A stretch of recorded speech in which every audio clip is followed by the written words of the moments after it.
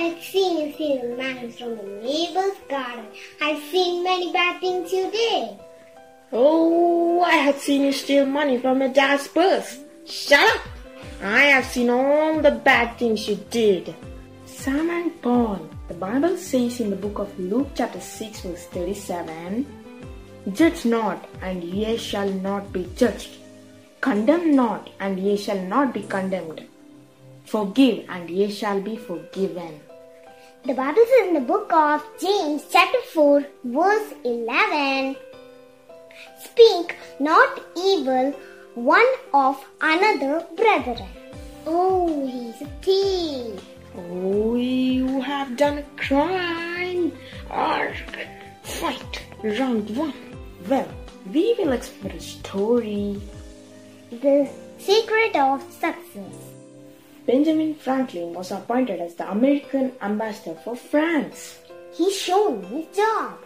Those surprised at his accomplishments inquired. What is the secret of his success? Franklin replied, If I need to talk about someone, I only narrate the good things. I never talk about their failures or bad things.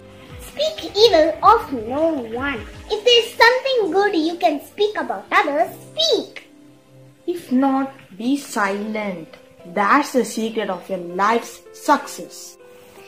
Sam and Paul, the Bible says the book of Romans chapter 12 verse 19. Dearly beloved, avenge not yourselves, but rather give place unto God's wrath. Oh, sorry, Sam. Oh, I'm really sorry, Paul. From now on, we will never speak evil of anyone. Bye. Bye. Sam and Paul. Bye. Friends, the Bible says the book of Ephesians chapter 4 verse 29. Let no corrupt communication proceed out of your mouth, but that which is good to the use of edifying, that it may minister grace to the hearers. Speak evil of no one. If there is something good you can speak about speak. If not, be silent. That's the secret of your life's success.